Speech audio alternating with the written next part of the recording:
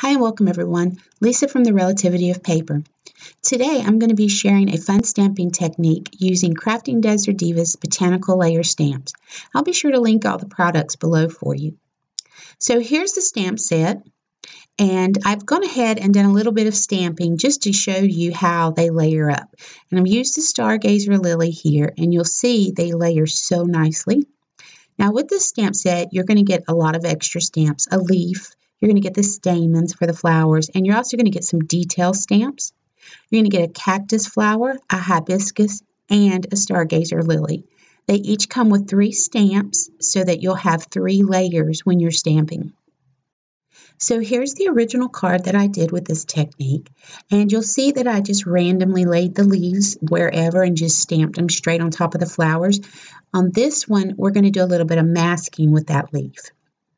So the first thing I'm going to do is grab my mini MISTI and lay my stamp down. I'm working with the cactus flower and you want to work with the solid stamp image here. So I grab some picked raspberry distress ink and I go ahead and I stamp that image down. And don't worry if you don't get a full image stamped. That's okay.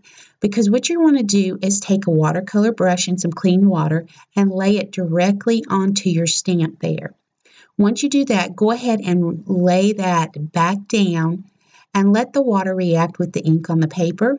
And don't push too hard on it. Just let it do its own thing. And then lift the lid and you'll see how you're going to get this beautiful effect. Now, in between moving your stamp, you want to be sure that you clean it off so that you don't end up with any oopsies. I'm going to use this same technique and add leaves to my uh, watercolor paper using Twisted Citron Distress Ink, and I'm using Post-it notes to do a little bit of masking. Now, I wanted to keep this card a little bit neater, so that's why I decided to mask the flowers instead of just going ahead and stamping them randomly. So there's the technique, and if you want, you can stop there. I'm going to actually take the center to this flower and some mustard seed distress ink and stamp the centers of the flowers.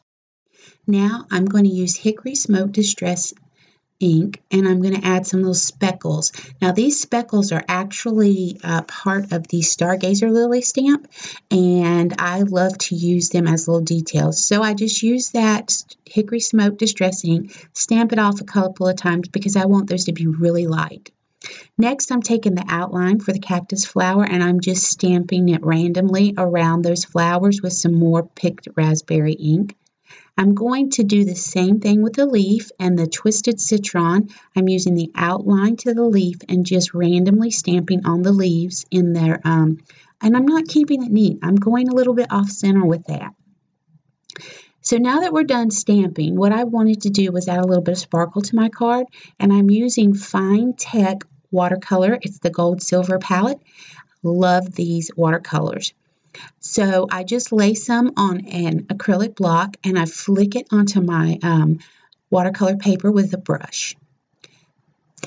So, so now we're ready to move on to do some die cutting and I'm going to be using Craftin Desert Divas Fancy Frame Dies and you'll see here I've centered it up because I want to save that outer edge for a frame for a shaker card. I've also done some die cutting with the greeting word dies from Craftin Desert Divas, and I used the thanks.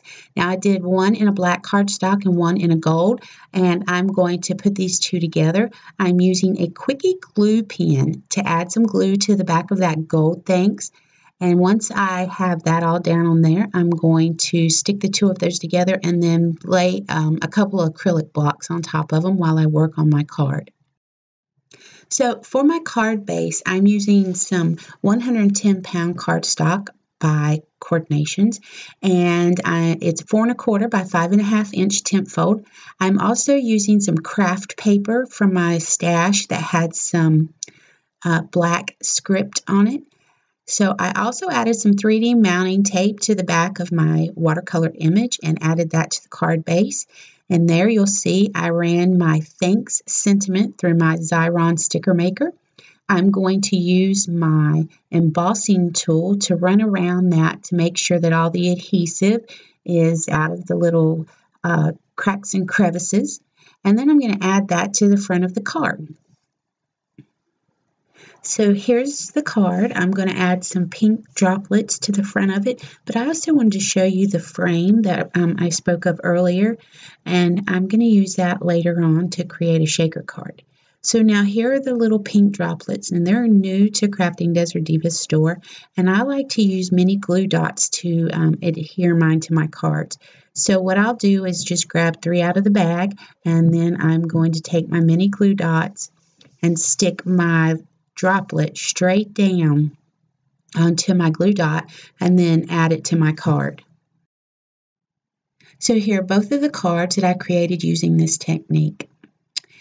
Um, thanks for joining me and I hope you join me again.